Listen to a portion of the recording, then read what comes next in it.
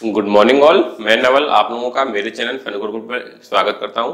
Last video में हम लोगों ने पेज टेबल में एड्रेस ट्रांसलेशन पेजिंग में पढ़ लिया था। ठीक है? अब इस वीडियो में हम पेज टेबल में जो एंट्रीज होती हैं, वो सब हम डिस्कस करेंगे। ठीक है? अगर अभी तक आपने मेरा चैनल सब्सक्राइब नहीं किया है तो आप मेरा चैनल सब्सक्राइब कर लीजिए और बेल आइकन को प्रेस कर लीजिए, ताकि आपको नोटिफिकेशन मिलते रहे। चलिए स्टार्ट करते हैं। जो हमने पेज टेबल पढ़ा था पेज टेबल में हमने क्या पढ़ा था कि अगर मान लो ये हमारी क्या है पेज टेबल है अगर ये मान लो हमारी क्या है पेज टेबल है तो इसमें मैंने आपको बताया था कि जो नंबर ऑफ़ एंट्रीज होती हैं, वो नंबर ऑफ़ एंट्रीज किसके इक्वल होती हैं? नंबर ऑफ़ एंट्रीज होती है नंबर ऑफ़ पेजेस के इक्वल नंबर ऑफ़ पेजेस के इक्वल इसका मतलब क्या है कि हर एक पेज के लिए पेज टेबल में एक एंट्री होगी होगी. इसका मतलब क्या है? हर एक पेज के लिए पेज टेबल में एक एंट्री होगी होगी. ठीक है? अब पेज टेबल के अंदर एंट्री क्या होगी? पेज टेबल के अंदर एंट्री अभी तक हम पढ़ रहे थे कि पेज टेबल के अंदर एंट्री क्या होगी? फ्रेम नंबर ठीक है? लेकिन इसके अलावा भी कुछ और एंट्री पेज टेबल के अंदर हो सकती हैं तो इस वीडियो में हम वो डिस्कस करेंगे। ठीक है? तो चलिए स्टार्ट करते हैं। ये क्या है? कुछ फील्ड्स हैं जो पेज टेबल में हो सकती हैं। जैसे फ्रेम नंबर हमने ऑलरेडी डिस्कस किया हुआ है कि पेज टेबल में फ्रेम नंबर तो होगा ही होगा। ठीक है? ये क्या है? ये क्या है? एसेंशियल फ़ील्ड है। ठीक है? कंपलसरी फ़ील्ड है जो पेज टेबल में होगी ही होगी, ठीक है? ये क्या है? कंपलसरी फ़ील्ड है। ये कंपलसरी फ़ील्ड है, ठीक है? और फ्रेम नंबर का यूज़ क्या है? यूज़र क्या करेगा?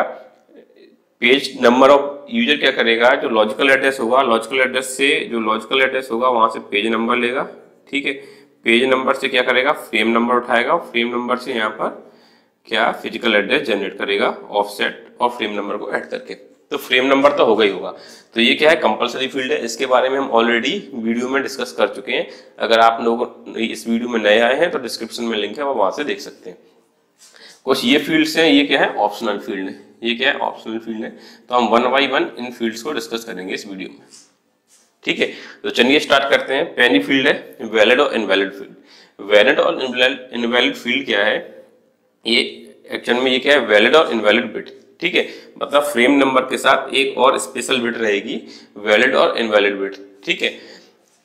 इस बिट का यूज़ क्या है? इस बिट का यूज़ ये है कि जैसे मैंने आपको बताया कि मान लो एक प्रोसेस है, एक प्रोसेस की साइज़ है मान लो मान लो प्रोसेस की साइज़ है सिक्सटीन बाइट प्रोसेस की साइज़ क्या है? सिक्सटीन बाइट ठीक है?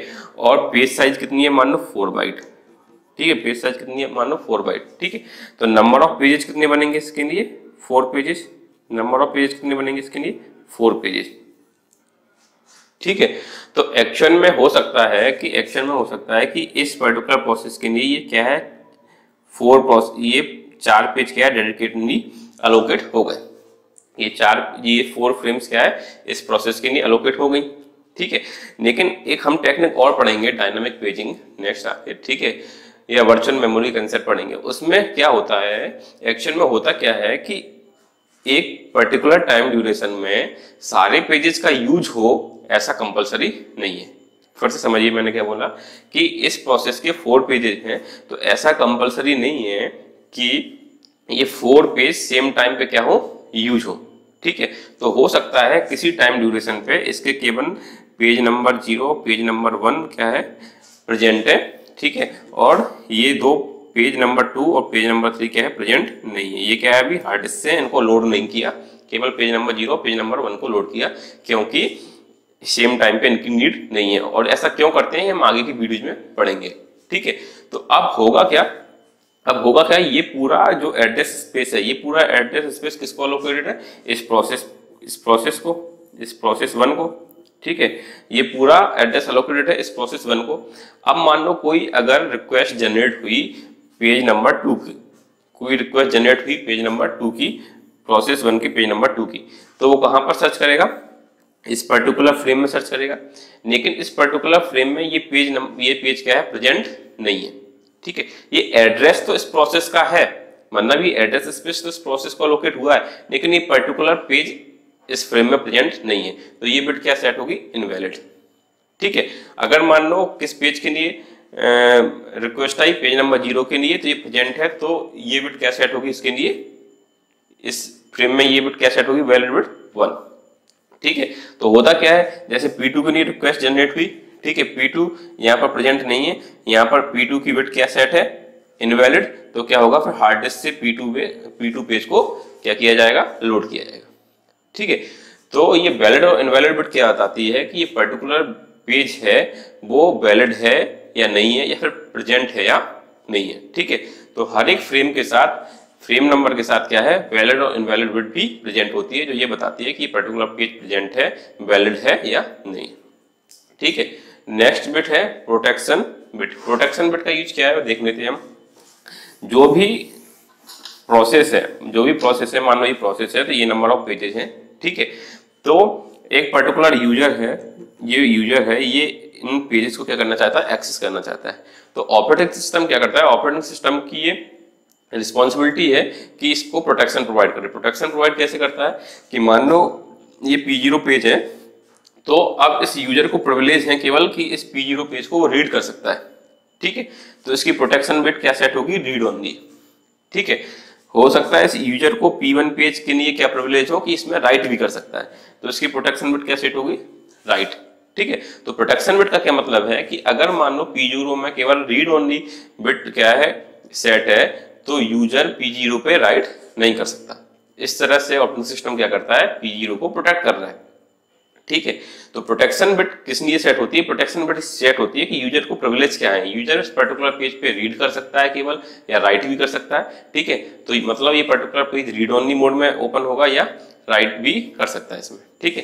तो ये प्रोटेक्शन बिट के थ्रू मालूम चलता है। तो हर एक फ्रेम में, हर फ्रेम नंबर के साथ क्या है? प्रोटेक्शन बिट भी सेट होती है, जिससे ये मालूम होता है कि ये ऑप्शनल है, ठीक है? Operating system to operating system vary करता है। किसी ऑपरेटिंग सिस्टम में ये फंक्शनलिटी होगी, किसी ऑपरेटिंग सिस्टम में हो सकता है ये फंक्शनलिटी ना ठीक है? नेक्स्ट है डर्टी बिट डर्टी बिट या इसको हम मॉडिफाई बिट भी कहते हैं। ठीक है? ये काफ़ी इंपॉर्टेंट कंसेप्ट है और इस पे बेस्ट काफ़ी बार गेट में क्वेश्चन पूछे गए हैं। इस बार भी एक क्वेश्चन पूछा गया था। तो डर्टी बिट होता क्या है कि देखो, ये जो भी पेज हैं, आप समझो ये पेज कहाँ से लोड होकर आ रहे हैं? एक्चुअल में प्रोसेस सबसे पहले कहाँ पर प्रेजेंट होगी? हार्ड डिस्क में। सबसे पहले कहाँ पर प्रेजेंट होगी? हार्ड डिस्क में। ठीक है? जब यूज़र उसको एक्सेस करना चाहता है तो हार्ड डिस्क से प्रोसेस उठ के कहाँ पर आती है? मेन मेमोरी में। ठीक है? तो मेन मेमोरी में प्रोसेस आई पेजेस के फॉर्म में यहाँ पर डिस्ट्रीब्यूट हो गई। अब यूज़र ने क्या किया? यूज़र ने किसी पेज को क्या किया? यूज़र वन है, मान लो। यूज़र वन ने किसी पेज को एक्सेस किया, मान लो पी वन को। और पी वन में मान लो कोई भी वेरिएबल था, मान लो उसकी वैल्यू थी, मान लो एक टाइम पे टू ठीक है? और उसकी वैल्यू मान लो उसने उसको राइट प्रिविलेज भी थे तो उसने वैल्यू अपडेट कर दी क्या? फोर क्या कर दी? फोर अब अगर वो पेज मॉडिफाइड हो गया, अगर पेज में यूज़र ने कुछ भी राइट ऑपरेशन परफॉर्म किया है तो वो जो भी ऑपरेशन किया है, वो क्या है? हार्ड डिस्क में भी राइट बैक होने चाहिए। क्यों होने चाहिए? क्योंकि ये तो क्या है? पॉलिटाइन मेमोरी है। जैसे ही ये क्या है? प्रोसेस टर्मिनेट होगी तो ये क्या है? जो भी उसने ऑपरेशन मॉडिफाई किए हैं, ये सब क्या हो जाएँगे? वेनिस हो जाएँगे, ठीक है? तो यूज़र अगर कुछ भी मॉडिफाई करता है तो उसको राइट बैक करना होगा, ठीक है? तो ये कैसे मालूम चलता है? जैसे यूज़र कुछ भी मॉडिफाई करता है तो उसकी डायरेक्टिव बिट सेट हो जाती है। वन मतलब इसमें क्या है? यूज़र ने मॉडिफाई किया है इस पेज को, और अब इस पेज को राइट बैक करना कंपलसरी है। इसका मतलब क्या है कि जैसे मान लो कोई पेज आया, ठीक है? उसमें कोई भी राइट बैक ऑपरेशन किया तो डायरेक्टिव बिट क्या करेगा? अगर कोई भी मॉडिफिकेशन किया तो डायरेक्टिव बिट वन सेट कर देगा। अब अगर मान लो कोई भी यूज़र आया यूज़र टू ठीक है, और उसको एक नए पेज की ज़रूरत है और मान लो यहाँ पर स्पेस अवेलेबल नहीं है तो इसको स्वेप आउट होगा ये, और नया पेज स्वेप इन होगा। ये सब हम डिमांड डिमांड पेजिंग में पढ़ेंगे। तो जब ये स्वेप आउट होगा तो इसको सीधे स्वेप आउट नहीं करेंगे।